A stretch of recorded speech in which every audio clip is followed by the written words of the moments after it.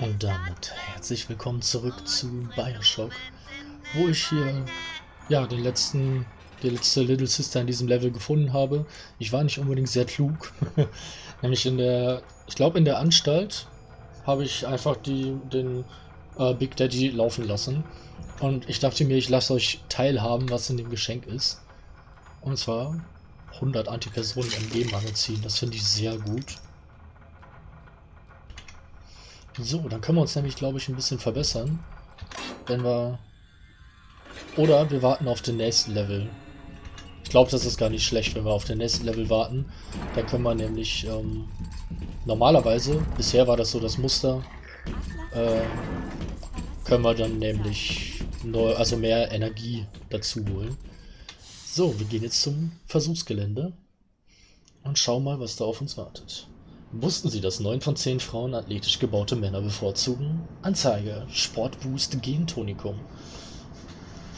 Alles klar. So, wir sind in der Museumslobby und wir haben unsere eigene kleine Little Sister. Komm, gehen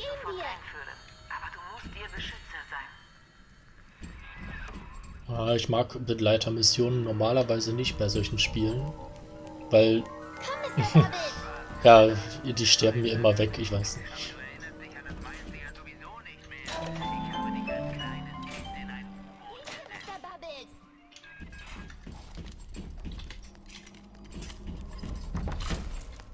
So, warte. Antipersonen-Magazin, ja, da haben wir gut, gut was bekommen. Dann können wir nämlich da Antipersonen, das ist panzerbrechend und hier ist ironisch. Alles gut. Da hinten war doch was.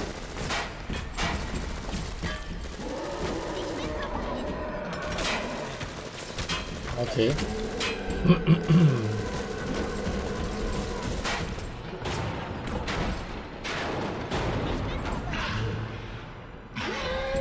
Okay. Dinge passieren.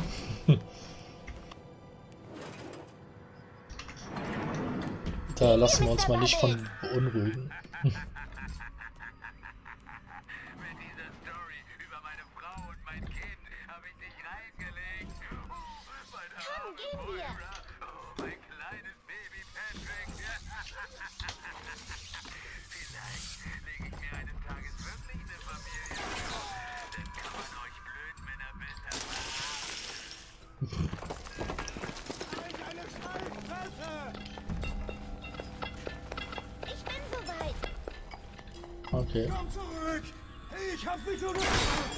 wollte sagen, da klettert jemand. Ich bin soweit. Hm?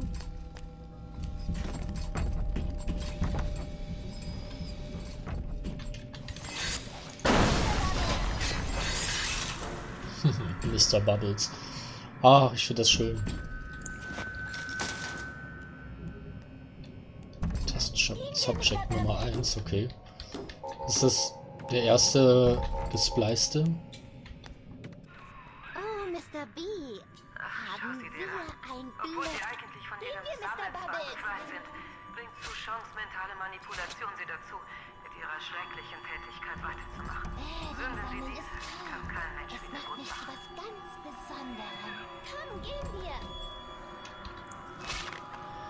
Soweit.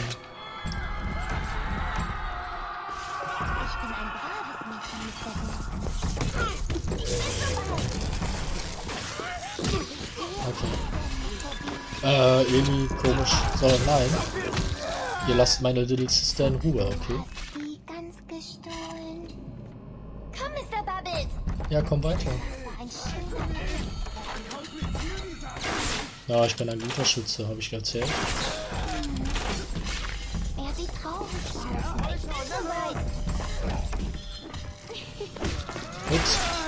Hey. Das tut man nicht. Ich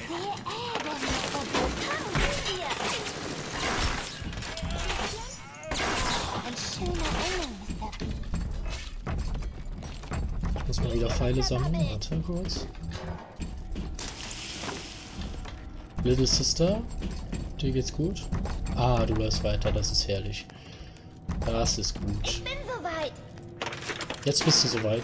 Hast du jetzt schon siebenmal gesagt, irgendwie glaube ich dir inzwischen nicht mehr so besonders.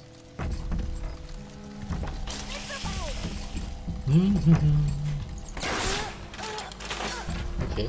Ähm, kann das sein, wenn die so rot umrandet sind, dass die gerade von äh, unserem lieben guten Freund Fontaine kontrolliert werden?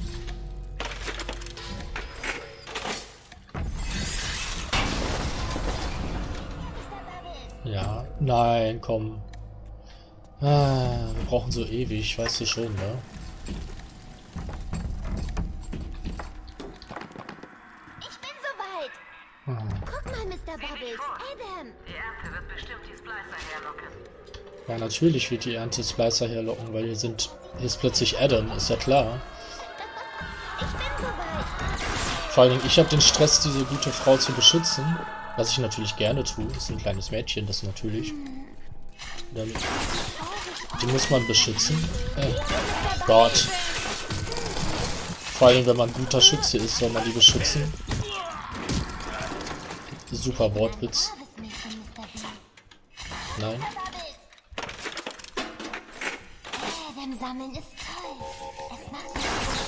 Gott. Ja, genau. Ich bin. Hörst du mal auf? Und da frage ich mich, warum bei Begleitoptionen nach Missionen mir immer meine Leute wegsterben. Vielleicht liegt das an meinen wahnsinnig guten Schusskünsten. Ich nehme die mal eben auf. Hey. Äh, ja. Äh. Manchmal treffe ich ja. Man manchmal klappt das ganz gut, aber irgendwie, äh, ja, Komm, gehen wir. die ist schon sehr zerbrechlich, die gute.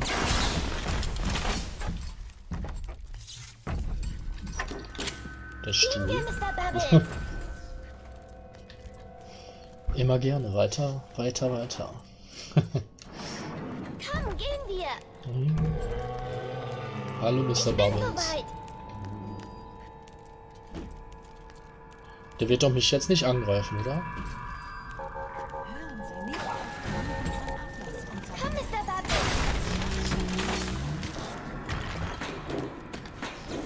Wie ist das mit Explosionen? Tut das der Kleinen auch weh? Kann? Mr. Bubbles.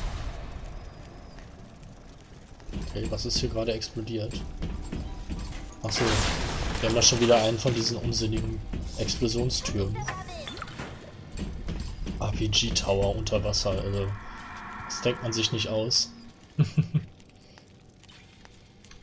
wir, Mr. Bubbles. Ja, gerne. Wir haben ja eh nichts zu tun gerade, ne? Ich bin soweit.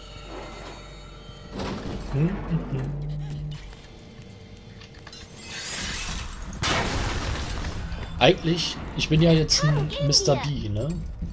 Also ein Big Daddy. Da sollte ich ja eigentlich kein äh, Ziel mehr sein für die Kameras, oder? Ich bin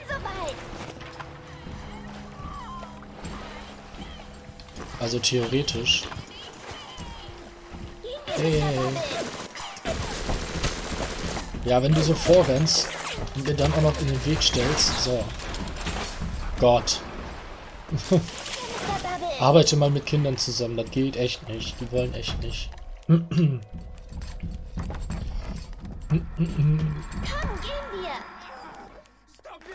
Ah, da oben. Ah, ich habe das Gefühl, sie will wieder ein bisschen essen.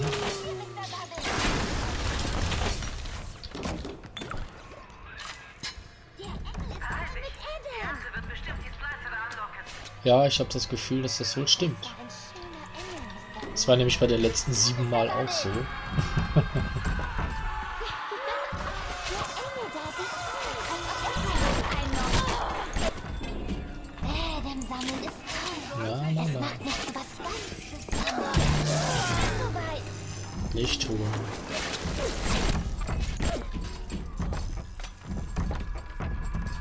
Personenpistole Ach, Munition ist schon nicht schlecht.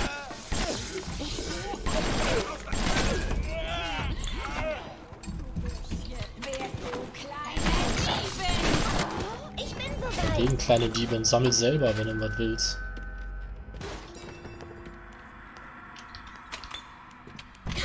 Hm. Ja, sofort. Weg. finde auch, dass der Stimmenmanipulator, den finde ich sehr gut, muss ich doch sagen. Ich bin soweit. Äh, das soll im Hintergrund immer dieses... Das heißt natürlich zu 90%, dass ich gerade eben Schaden genommen habe, aber das passiert hier ja öfter. Das haben wir ja schon, haben wir ja schon ein paar Mal gesehen, dass ich äh, als großes Ziel natürlich. Hallo. Willst du mich jetzt? Okay, warum?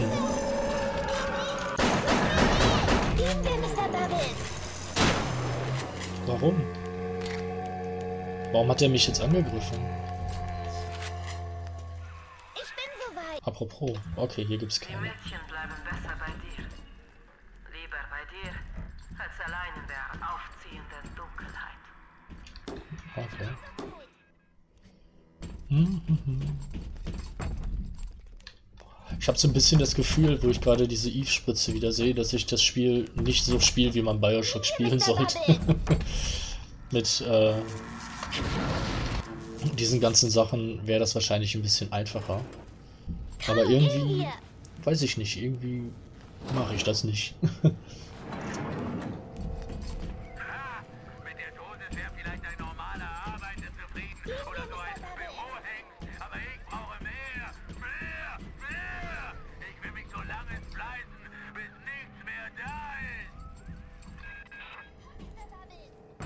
Gottes Willen. Ja, ich bin gleich wieder da. Ich äh, möchte nur kurz hier so ein bisschen was machen, ne? Wenn das okay ist für dich. So, da, da, da, da, da, da. Habe ich denn keine in die Richtung? Ah, da. Gott sei Dank. Ähm, Ja, das war's, ne? Schade. Warum? Ja, komm, wir machen das mit so einem Autohacker, da haben wir eh noch ein paar von. Aber ich kam gerade nicht weiter. Schade.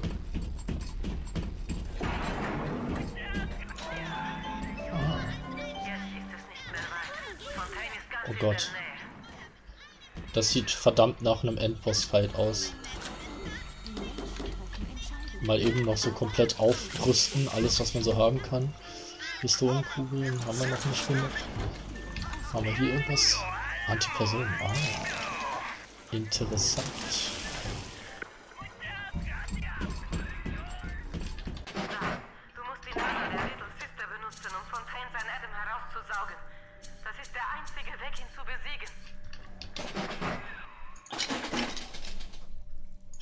Viel ich davon haben kann. Ich hoffe mehr. So. Besorge das Erntewerkzeug. Oha. Da haben wir es doch. Nein, das sind Brandbolzen. Ähm. Hallo? Nimm das Erntewerkzeug. Ja, wo bist du denn? Bin ich gerade blind? Worauf wartest du? Nimm die Nadel. Ja, erzähl mir, wo du gerade bist. Äh. Hier, nimm. Steck sie dem bösen Mann Ach, da. Machen wir. Fontaine wartet oben. Jetzt gibt es kein Zurück mehr. Vergewissere dich, dass du bereit bist, ihm gegenüberzutreten, bevor du weitergehst. Wie soll ich denn bereit sein? Aber wir machen erstmal hier das hier noch. So, und... Och komm, einen Technik-Slot haben wir noch nicht. Uff, das brauchen wir natürlich überhaupt nicht. Ah, komm. Hier. Aber das Schöne ist, ich, ich zeig's mal eben, deswegen wollte ich es... Nein, hier nicht. Wollen wir es in der Genbank? Deswegen. Ah, schau mal. Mm. Alles. Das ist schön. So. Äh, 5 von 19. Okay, ich kann nur 24 Bandbolzen tragen. Schade. Dann gehen wir mal nach oben. Fontaine. Der Handel ist das Herzblut der Stadt. Wenn wir nicht aufpassen, wird die Regierung zu ihrem Krebs. Äh, okay. Ich hinterfrage das mal jetzt nicht. Das hat bestimmt einen Sinn. Ich kann mich noch erinnern, wie diese Frau und ich dich in das U-Boot gesetzt und dich nach oben geschickt haben. Da warst du höchstens zwei Jahre alt. Ja, ja, du warst mein Ass im Ärmel. Aber du warst für mich auch fast sowas wie ein Sohn. Und deswegen schmerzt es jetzt. Verrat, Kleiner. Manches im Leben tut einfach weh. Okay.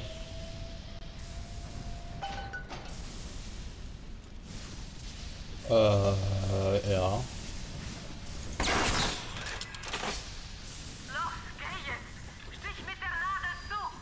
Klar. Hey. So haben wir nicht gerettet.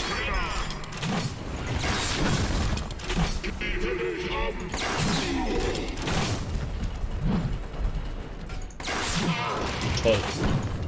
Aua. Ja, ich muss gerade nach... Aua, komm, lass mich doch einfach nachladen.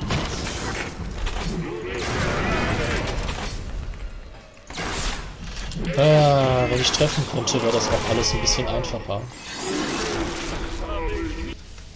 Ja, ich wollte rennen. Also, ich verstehe die Mechanik. Was war das denn für ein Bug?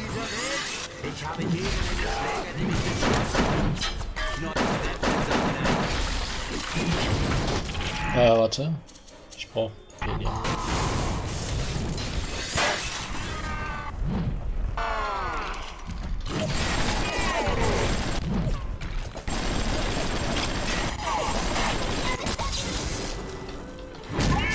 Ah. Ich weiß nicht, wie das bei anderen Let's Plays ist. Reden die bei End Endboss-Kämpfen? Ah. so, du gehst jetzt zurück. Ich äh, ignoriere mal eben kurz den... Ähm ah, okay. Den Alarm, weil die sind gleich eh weg. Okay, gut. Aua. Ah.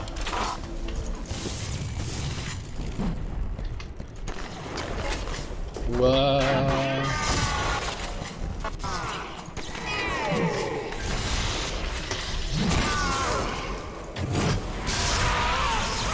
So. Das brauche ich gar nicht. Äh, ja. Wo kommt das denn her? Wenn Ja, da habe ich gerade auf T, glaube ich, geklickt. Kann es sein? Ihre eigenen Zellen werden durchweg durch neue Stämme ersetzt, sobald sie beschädigt werden. Diese Kinder sind praktisch unverwundbar. Ja. Es ist eine Schande, dass das nicht mit Erwachsenen funktioniert. Es gäbe sicher einen großen Markt für unverwundbare Männer.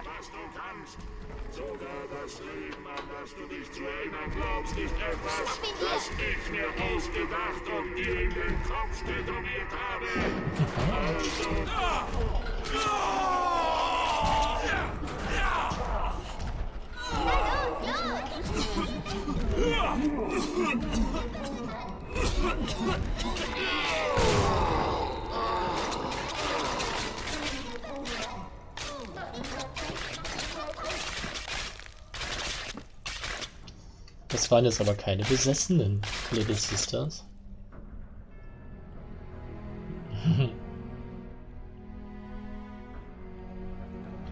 Schau mal. Man hat dir die ganze Stadt angeboten.